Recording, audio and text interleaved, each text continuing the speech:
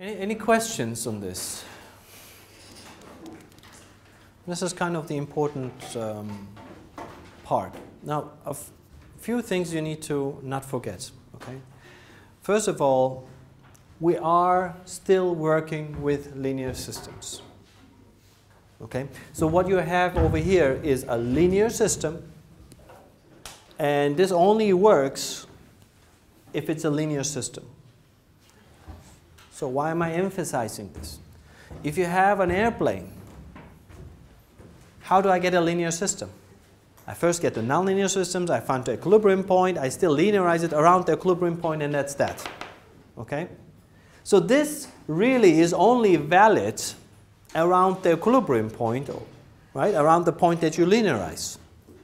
It's not valid everywhere, which means if I find a K matrix over here, it doesn't mean that the airplane will be stable everywhere, or I move the eigenvalues anywhere I want everywhere, and it's valid throughout the whole flight envelope. That's not true. It's actually only valid around the equilibrium point around which you linearize it, so never forget that. Sometimes people lose that perspective. This is only valid around that equilibrium point. So therefore, this is only valid around the equilibrium point. So is this, and so is that. Okay? That's fact number one. So never forget that. Okay? And because this is a linear system, there is no limit to u, to this u. You can have u as much as you want. And x can go to very large numbers because the, the, the real physics is kind of lost right? It's, it's just linear. I mean, think of it like, I mean, this is always a great example, the CL alpha curve, right? The CL alpha curve is something like this, for the most part. And then you stall and you get something like that. All right? So if you would linearize this CL alpha curve, say at this point, you would find a linear line that looks like that. And it, this would go basically to infinity because it's a linear, if it, if it was a linearized system. But in reality, the nonlinear system actually curves and go this, goes this way because it stalls, right? Wings stall.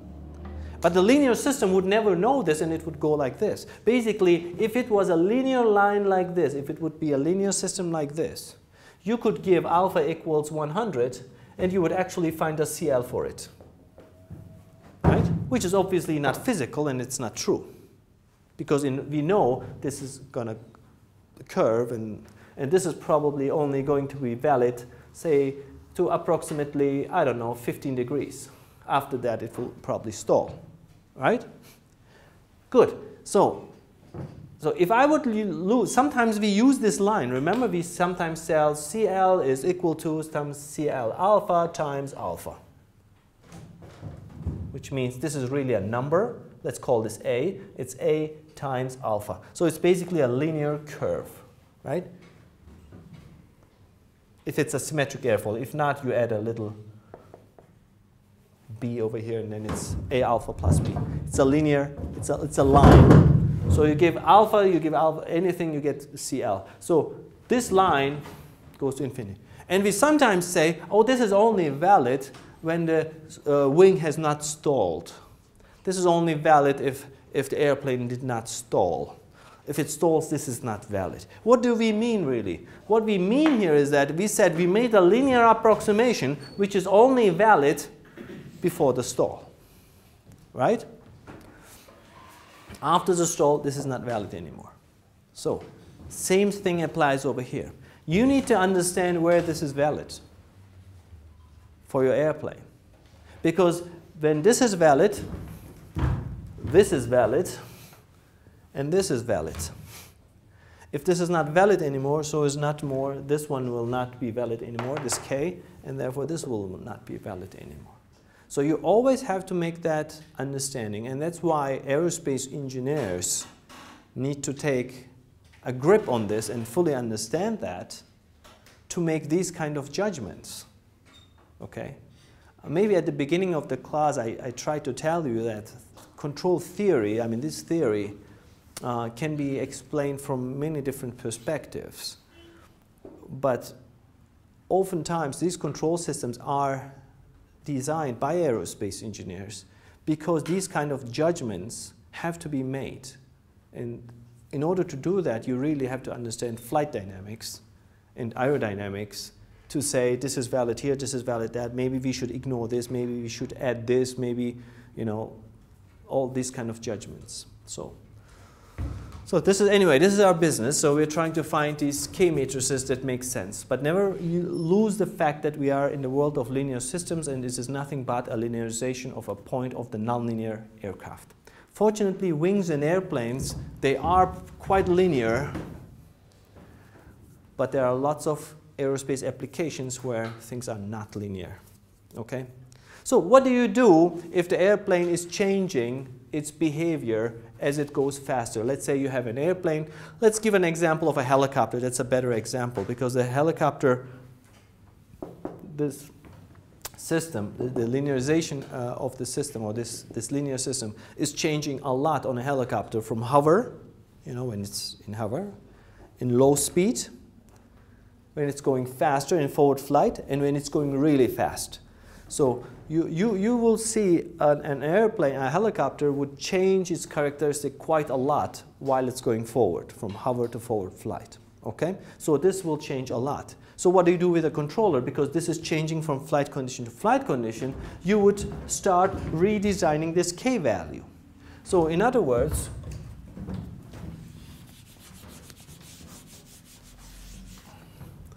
Let's say you have a helicopter that's in hover. Okay. Let's say you have another helicopter that's flying forward. Um, forward flight, uh, let's say around 30 to 70 knots forward flight. And then you have the high speed forward flight okay? And let's say this is higher than uh, more than 70 knots. So we are talking 100, 100 knots, 120 knots, and so on and so forth, right? Two different conditions. So all these three flight conditions will have, if you linearize it around these points, will have its own dynamics. Okay? This would be dynamics 1 and let's call this dynamics 2. Let's call this A1 x plus bu. In fact, let's call this one 1, 1, and let's call this one 2, 2, and this is flight condition 2. And the third one would look like this. x dot is equal to a3x plus b3 u. Okay? Three different flight conditions. So what would you do if you wanted to have a stable airplane, a stable helicopter for, uh, for, for all flight conditions? Well, for this one we would probably calculate a feedback matrix K1. For this one we would calculate a feedback matrix K2. And for this one we would calculate a feedback gain K3. So when the airplane or the helicopter moves from hover to 30 knots, we would be using K1 when you're moving from, when you pass K3, uh, when you pass uh, 30 knots, we would move to K2. So when I move from 70 knots higher, faster than 70 knots, I would start using K3, okay?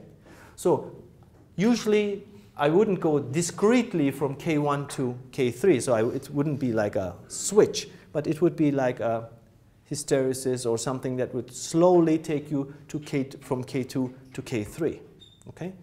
This type of thing we call gain scheduling.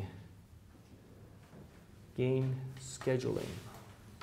So we schedule the gain based on the forward flight. So basically I would have a table in my little control system, in my little autopilot, that would say here's your velocity, 0 to 30 knots, and then 30 to 70 knots, and 70 knots to 140 knots, let's just say, I'm making this up, the gain will be, the gain matrix will be K1, K2, and K3, and this is what we call gain scheduling, okay? I wrote it already. So we schedule the gain based on some flight conditions. Now I scheduled it only for forward flight, but you could also schedule it based on altitude. Right? Because the flight characteristic will probably be quite different if you fly at sea level or you fly at 10,000 feet. Right? Or you can schedule it based on temperature and altitude, so it would be a function of basically the air density. So because as the air density is changing, so will be the linear models. So therefore, you might have a quite a complex gain scheduling system if the system is quite nonlinear. Okay. Now, imagine that this is not a helicopter but an airplane and it's not stalling and the model that you represent in low speed can be used everywhere. Imagine an a helicopter, let's just say. It just has a linear model that is the same everywhere. Then it's great. You don't have to schedule. Okay? When is that possible? That's only possible if the system in itself is linear. Just like before, right? If the system itself is linear and you linearize it, you still get the same curve. Then it's great. And fortunately, airplanes are kind of like that. Unless it stalls, it is actually quite linear. Therefore, designing controllers for airplane is a lot simpler than designing it for, say, quadrotors or helicopters. Because it's nonlinear, and you need to represent each nonlinearity with linear models. Let's say you have a nonlinear curve like this. You need a lot of linear curves to represent this curve now. Like one curve, another curve, another line, another line, another line. You add these five lines together and you get this nonlinear behavior. But you need five different lines to represent this nonlinearity. If the, if the actual system looks, as I said, only like that, then all you need is really one line and you are done. Okay? So what you have on a helicopter right now, you have a nonlinearity. Of course, this is only a, now a two-dimensional system, and a helicopter is a lot more complex. At least it's eight, eight, it, at least it will be 8 by 8 because it will have PQR, UVW, and all this, the rigid body dynamics. But if it was like that, then you would need a curve for each flight condition. Okay? So what we're going to do in this class is now we're going to choose one, one uh, linear system like this, an LTI system. That will be our problem. I will tell you this is given this LTI system. Design K such that we have some nice characteristics over here. Okay, so that will be our first job. All right? So how does this work? How does this K actually work on an airplane? I mean, how does it, how does it work? I mean, it's nice to write these block diagrams, but how does it work in practice? Let me just quickly show you that. Let's say because this is a question I get from students all the time after I do all these block diagrams. So, but how do you do it in real life? But how do you do it in real life? Well, this is how it works. Let's say, let's say you have an airplane, right? And let's say you have the elevator here at the back. And you want to have, you want to control the pitch of the, of the airplane. And you control it with this elevator. So how does it work? Well, this is, this is your elevator, this is the cross section, and you have this little piece that can go up and down. So if you can move it down, then, then you, you, you create more lift and nose will go down. If you go in the opposite direction, nose will go up, right? That's how an elevator works. All right, so how is this connected to the pilot? Well, the pilot here has a pilot control, okay? And this is literally, in the old airplanes, it was literally connected with a rope. Of course, with a metal rope, hopefully, right? So the pilot will pull on this, this will go up, this will go down, and you would just move. Right? It would be a mechanical system. Is this a closed loop system or an open loop? Open loop, right? It's, it's pure aerodynamics. There nobody is intervening with the pilot. The pilot is directly controlling the elevator. In this case, the elevator would be our control U. Okay? The movement of the elevator. U movement of elevator. Movement of elevator. Okay? It's basically, let's say it's an angle. Let's say this angle, u, is the angle, I don't know. Let's call it theta elevator. I don't know, I'm just making this up now. Or not call it theta, not to mix it with the pitch. Let's call it something like this, delta E. Okay? So that is your U, your control. Now, if you want to have a controller now, what we do is, and, and the pilot is actually is one-to-one -one with you. So it's, it's moving this, the, the, the control, and this is moving, this is moving, this is that. So what do we do now with a, in, in, when we want to do a controller? We do the following. We want to feedback x. So in this case, I'm just simplify the problem. We are looking at the pitch control. We want to control the pitch theta, right? So we want to feedback x, uh, theta. Because the system will look like this. U is the input. We have an LTI system of the aircraft. The output will be theta. I'm just simplifying this equation a lot. U is equal to theta E, right? A single input, single output system. And we want to take theta multiplied with K and send it over here and we will call this R. So how are we going to do this? Well, the movement of theta we need to measure. So there will be something that measures theta. Measure theta what device would measure the pitch angle of an airplane? The gyroscopes, right? Or the gyroscope would measure the rate. If you add accelerometers, it's called an INS, an inertial navigation system, or, or an IMU, inertial measurement unit.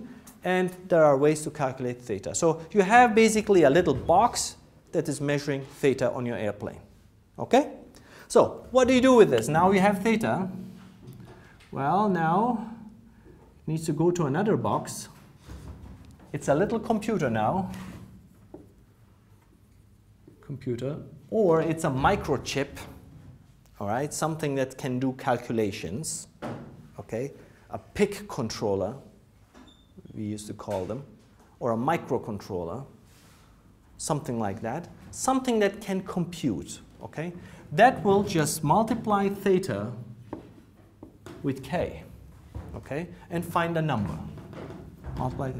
So, and that would be added to a little actuator over here. We call it a serial actuator.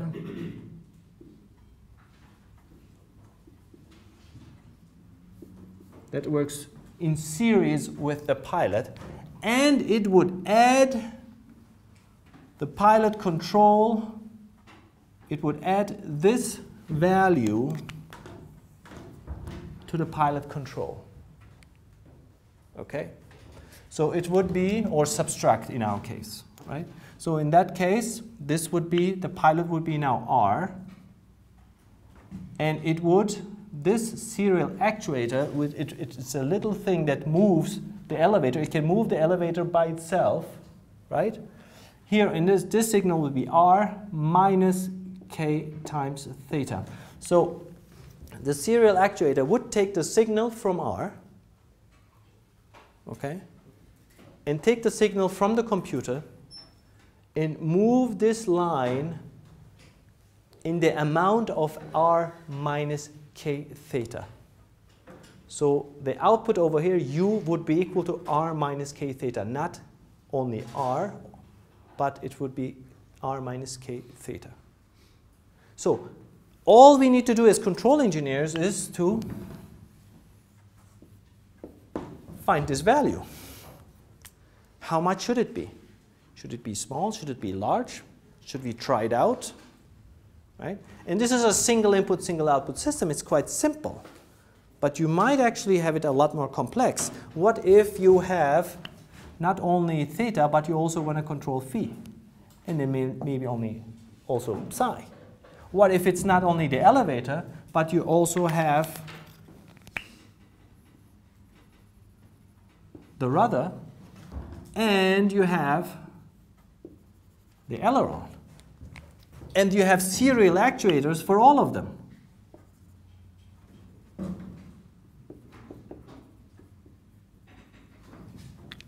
And now the system is becoming more complex. And this k value here now is not a number anymore. In fact, if you have three controls and three states, it will be a 3 by 3 matrix. So what should be that matrix so that this airplane is still stable? Okay? So this is how the control system works on an airplane. On a helicopter too, sometimes. It's that little thing, that little trick here, you see? You move this thing, the whole serial actuator will move, but at the same time, the serial actuator can move this thing by itself as well. Understand? So do you see that connection between this and this? Here is R, here is your pilot. This is your linear system. This, is, this represents the airplane, the movement of the airplane. This represents X multiplied with k, and subtracted from r.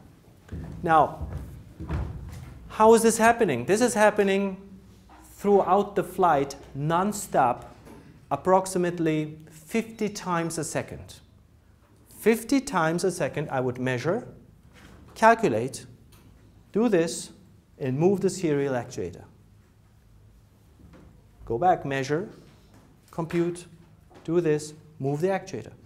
50 times a second. 50 times. On a helicopter, on a small helicopter, this needs to be faster. It's usually 100 times a second. I mean, I'm just giving you rough numbers here, okay? If it's a stable airplane, you can probably get away with 20 hertz, 20 times a second. If it's a fast moving airplane or a flying object, it needs to be faster. Most quadrotors, they run at 100 hertz. Okay, 100 times you measure, calculate, do this. Measure, calculate, do this. 100 times a second. So you have this unstable system stabilized. It is like this thing. I'm stabilizing this with my hand. It's not easy, you see? So this is what I do. I am the control system here. My eyes, these are the sensors. This one, I measure. I look at it and go like, oh, oops. My input is this guy. I mean, I mean the, the, the angle is theta. That's the state. I want to keep it like this. My input is the movement of my hand. So it is a feedback loop. I am the feedback. Right? Trying to keep this. If it was maybe a, if it was something like this, it might be easier. Well, this one, this is easier. The dynamics is a lot easier. I don't have to move a lot, right? But as the system becomes more, I'm going to use very uh, non-scientific words, very jiggly, like that, okay? Then I need to look and do a lot of work, okay? Then the feedback loop has to be a lot faster.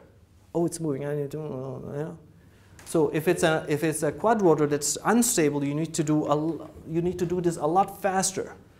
If it's a stable airplane, you can do it a lot slower, no problem. But I want you to understand this, the connection between this and this, okay? Or this and this, so that we don't lose track of what we are doing. Do you understand now how this works in a real life, or this one here? I will try to set up um, some experiments in the lab. So you, you can at least see one or two cases where this is used in real life and how you actually tune these things and change these things. Any questions on the practical side? Yes? Can it arrange itself uh, such that for more linear cases, more easy cases, uh, the frequency is low and the where nonlinearity becomes high, mm -hmm. Yeah. The frequency usually does not have much to do with the nonlinearity. It is more like where are the eigenvalues of the open loop system. If the eigenvalues of the open loop system are unstable and they are really over here, which means they are, they are going unstable very fast, then the loop has to be a lot faster. So it is more like where the eigenvalues are rather than if it's linear or nonlinear. It could be a linear system that is very jiggly, okay, even though it's linear.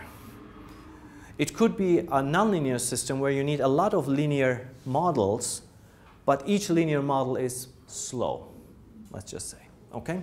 The way to check this is if you have taken uh, 384 Control Systems 1, where you look at Bode plots, have you heard of Bode plots, Nyquist plots? That's where we are teaching these things, the frequency response of the system, okay? So um, it's, an, it's a quite an important concept actually where you decide on the frequencies of these things and you look at the frequency of the system. How fast does it diverge? And what frequencies does it respond and things like that. So you need to look maybe on, on, on, on classic control Bode plots and stuff like that. Basically the frequency analysis of a dynamic system like this. This is not what i'm going to do over here.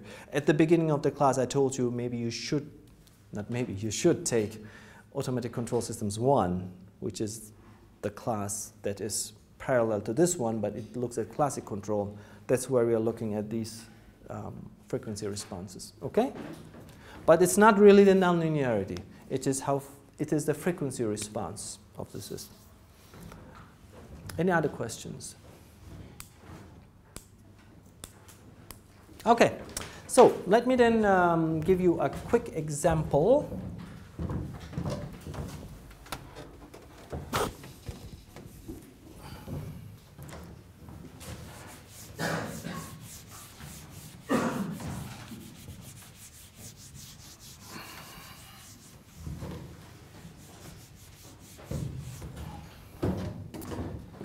Let's start with a really simple example.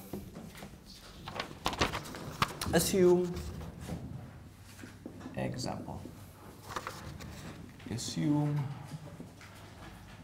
an LTI system. Assume the following LTI system. Maybe that's better. Assume the following LTI system.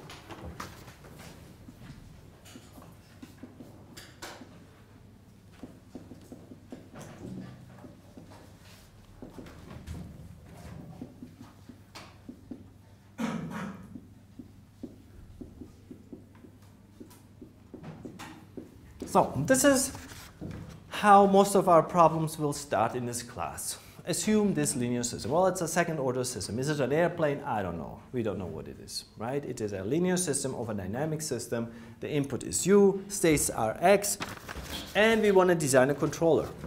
Design a full state feedback controller, say feedback controller, such that. The closed loop loop eigenvalues are at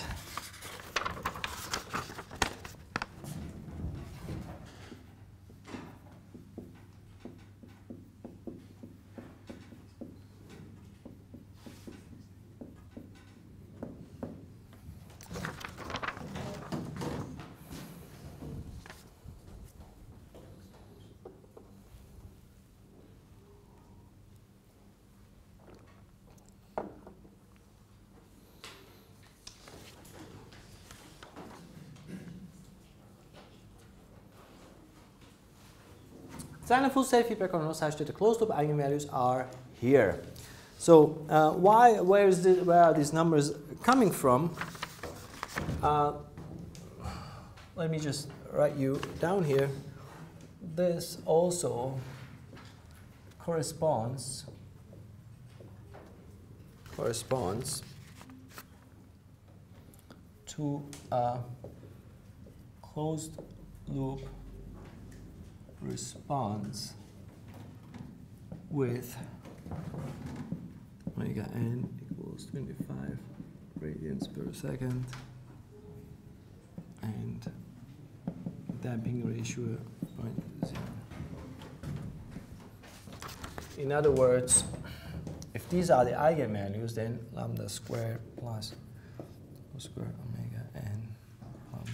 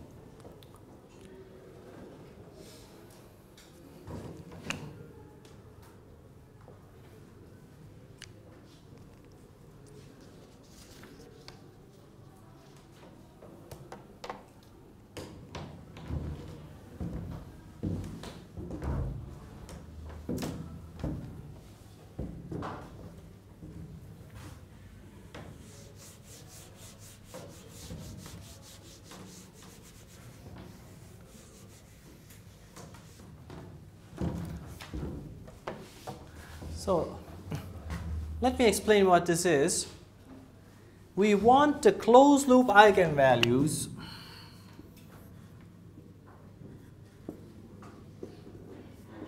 It's a two-dimensional system. We want the closed loop eigenvalues to be at minus 17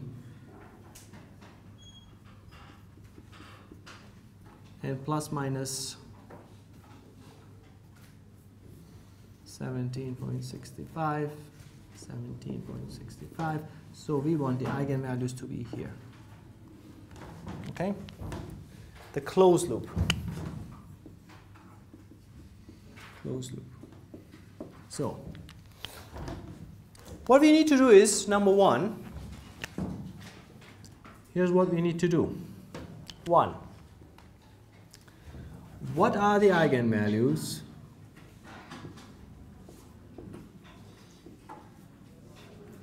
of the open loop.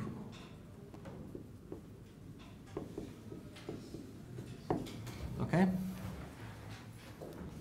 Two, is the system controllable?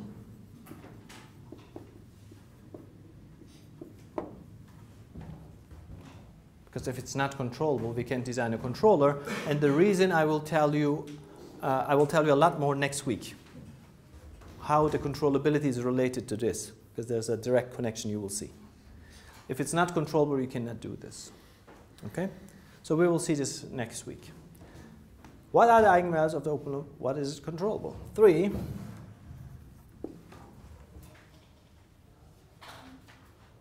Three.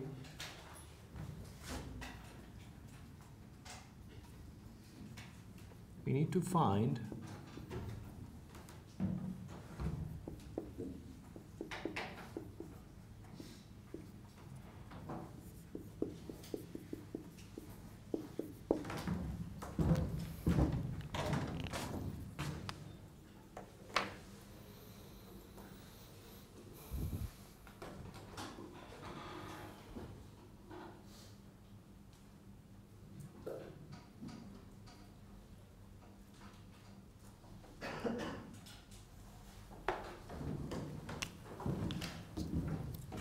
k such that a minus bk has eigenvalues at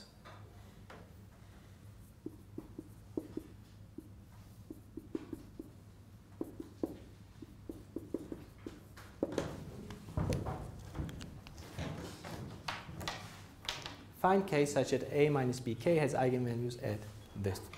Now, um, before I go here, let me just quickly explain you this part. Not often do we get, as controls engineers, directly the desired eigenvalues. I mean, nobody is going to tell us, sometimes they do, but very often they don't, tell us, move the eigenvalues of the system over here. This is not usually the, the, the, the, the proposition that we get. The question the, the, the proposition that we are getting usually something like this. They would say, we have a second order system, this is a second order system, and you have seen in system dynamics how second order systems behave, right? They have oscillations, they have overshoot, under, undershoots, and all this stuff, right? So, second order systems, they are usually represented by a damping ratio and a natural frequency. Okay? So, here's, the, here's what we would typically get. We wouldn't get this, we would get this. What we would get is design the second order system, design a feedback controller such that the closed loop system has a natural frequency of 25 radians per second and the damping ratio is 0.707. So that would correspond, this is the desired, that would correspond to something like this if this was a second order system. And this one will have the eigenvalues here. So this is what the customer in this case, I am the customer. I'm asking you, and you are the engineers. In this case, this is what the customer wants. The customer says, design a system where this is the natural frequency of the second order system, and this is the natural frequency of the second order system. So say, okay, then you want this. Oh, you want this. Then this has eigenvalues. This. Oh, I have to move the eigenvalues of this one to this. If I do that, I know it will correspond to this. This is just an example for you. Okay? At this point, I'm not asking you to do this. I'm asking you, I'm, I'm giving you this, and then I'm telling you find k. That's your problem. But just to, for you to understand, typically we would get something like this. And then we would find what the eigenvalues are that would correspond to this. And I know the eigenvalues of this is something else, and therefore I need to find the k value that would correspond to that. Does that make sense? Okay, so what I want you to try at home, I'm going to solve this in the next class, in the next, uh, next week. But until next week, please try this. First of all, what are the eigenvalues of the open loop? Find that, okay, of this one. Look at the eigenvalues of this. And understand that they are different from this. Secondly, look at the controllability of this. Is it controllable? I'm asking for a full state feedback controller, so we have nothing to do really with the measurement. The measurement is whatever it is. I know, I'm assuming that the state measurement is available to me. That's why I say design a full state feedback controller. So we are going to full, we're going to feedback the full state X. So therefore there's no Y over here. Okay? Find A minus BK. Find this at home, really. I mean, at the end, it's going to be, K is going to be, K is going to look like, what's going to K look like? You have one control, it's a single input, right? U is one control. So it will be plus minus. So this will be of size 1. This will be the LTI. This will be the output X. X will be x1, x2, right? So if I take x1 and x2, multiply it with a k matrix, vector, scalar, whatever, what should be the size of k? Remember, this is a single input. So the size of the control is 1.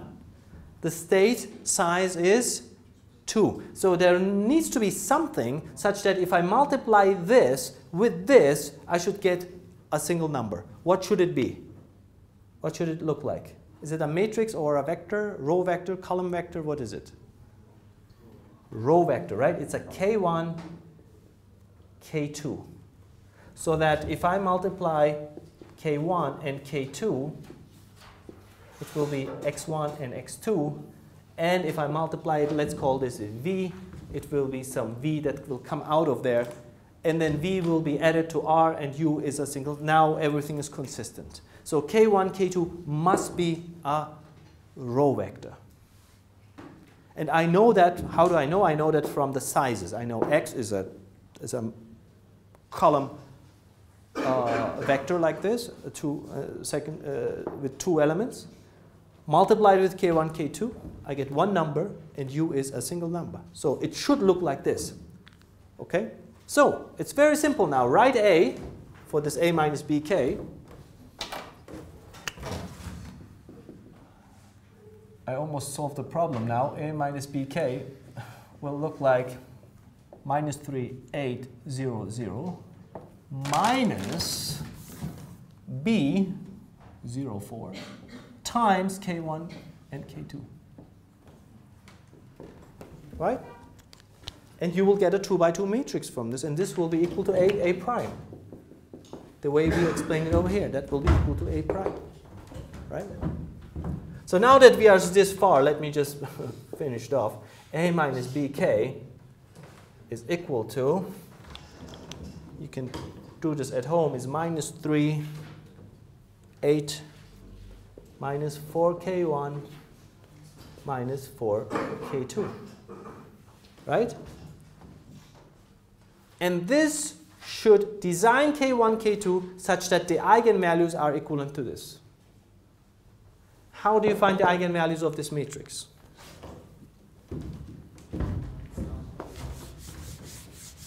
Like we always do, right? We do this. Minus 3 minus lambda, 8 minus 4k1 minus 4k2 minus lambda and find the determinant and set equal to 0. That's how we find lambdas, right? All right, so let's do it. Minus 3 minus lambda times minus 4k2 minus lambda plus 32k1 is equal to 0.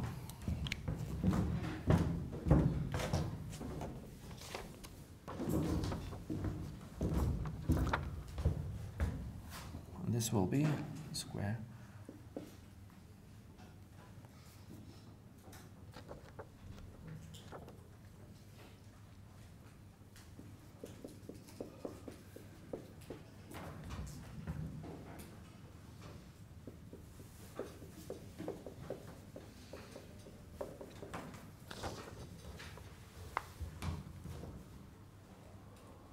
And this should be equal to what? Should be equal to this. If that's true, then the eigenvalues will be the same. So 12k2 plus 32k1 is equal to 625. 3 plus 4k2 are equal to 35.4. K1 is equal to 16.5. K2 is equal to 8.09.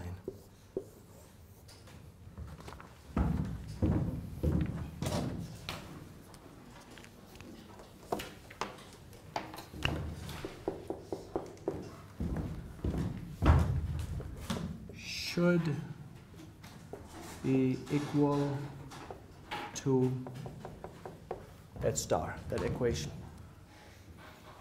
Right? understand that why that is, right?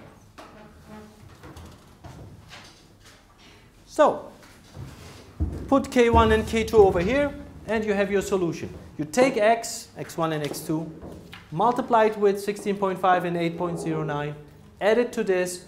The closed loop, if, this, if the user is here, if the control, if the, if the pilot or whatever, the user is here, the pilot will see this as if the system is that. Although the real system is not like this. And the, and the closed loop system will have its eigenvalues over here. The, the user over here will think the eigenvalues of the, of the system are over here, where in reality the eigenvalues of the open loop system are somewhere totally different. Understood? Okay, now, this is a time where you need to study a little bit. Okay? Don't come to the next class without reviewing this. I think at this point you probably understood everything in your mind, or not everything, but most of it. But believe me, it will evaporate very quickly in a few days if you don't look at it again. Therefore, I will give you a homework so that you can review this. I'll put it on the web hopefully today so that you start working on this. Okay? These are concepts that might be new to you. If you don't do it over and over again, you will forget. Okay?